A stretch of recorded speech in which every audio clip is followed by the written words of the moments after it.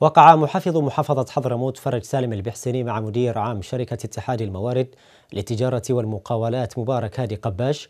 وقع اتفاقية إنشاء محطة مركزية لتوليد الطاقة الكهربائية بمديرية الضليعة الضليعة بقدرة 20 ميجاوات لتلبية احتياجات مديريات الهضبة الغربية لساحل حضرموت الضليعة ويبعث ودوعا مع إمكانية ربط جزء من مديرية حجر مستقبلا بكلفة إجمالية بلغت 17 مليون و557 ألف دولار. بتمويل من السلطة المحلية بالمحافظة.